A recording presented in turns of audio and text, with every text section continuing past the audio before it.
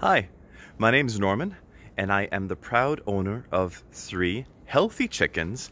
I live in the suburbs of Montreal, and it's the middle of winter, and these chickens are healthy, and I'm living a healthy lifestyle, having eggs, fresh eggs every day, and that's mostly thanks to Louise Arbour. Uh, with her urban chicken coop training, it was just amazing. I learned everything, and here's a good example. Uh, the chickens had a problem with their foot, and thanks to her book and the training, we knew it was pododermatitis, and we were able to treat it ourselves. And they're healthy, they're fine, they don't have that illness anymore, and we're so happy to have uh, these. So thank you, Louise Arbour. Amazing tra training. I highly recommend it.